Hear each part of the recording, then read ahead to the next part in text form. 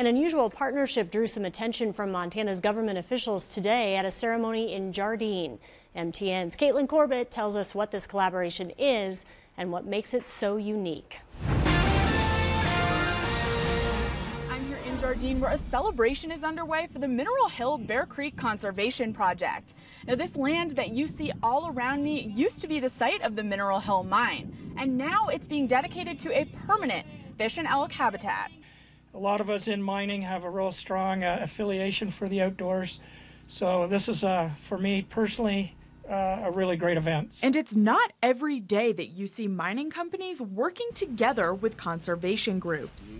That's why when Kinross Gold Mining Company recently partnered with Trout Unlimited and Rocky Mountain Elk Foundation to protect a 549 acre piece of land that was once used for mining, it drew a lot of praise. When we look at decisions like this, it is absolutely amazing that we had folks that come together, that came to the table and they talked about ways to make this country and this landscape a better place. And all I've got to say to, to, to the folks, to the principals, job well done. I think that's who we are as Montanans.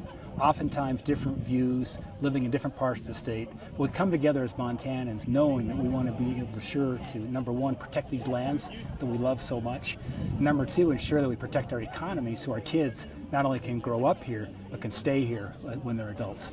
And Congressman Gianforte says the Mineral Hill Bear Creek Conservation Project could give Washington a few tips. Well, I think there's a great example here with conservation groups working together with a mining concern. I think we need to do that back in Congress. We all know Washington doesn't work that well.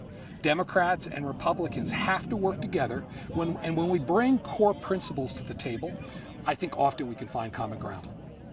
Reporting in Jardine, Caitlin Corbett, MTN News.